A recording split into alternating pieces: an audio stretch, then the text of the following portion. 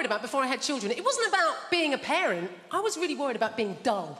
Because I, I mean, look, having kids late, 42, yeah? And they're only, they're only like nearly three. Most of my friends have had kids. And I remember my best mate, when she had her kids, dear God. Before the children arrived, we'd have interesting conversations about current affairs, popular culture. She'd ask me questions like, How are you? as soon as the kids arrived, that went. Go around the house and it's a bit more like this. Oh, hi, Jen. Oh, Jen, thanks so much for coming. Jen, look at the baby. Look at the baby. Isn't the baby the most beautiful baby you've ever seen in your life? We love this baby, don't we, Dave? We like to look at the baby all day. Jen, look at the baby. Jen, look at the baby. Look at the baby.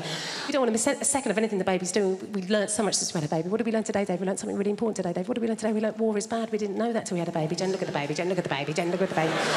There's a second we'd like to take photographs and video everything the baby does because we think our baby's a genius. We think our baby's more clever than any other baby that's ever existed before in, in all of time. What are you looking at me like that, Dave? Look at me weird, Dave. What's happening, Dave? Oh my God, the baby is blinking. That's incredible, Dave. Video it, play it back to our friends while they self harm in our living room.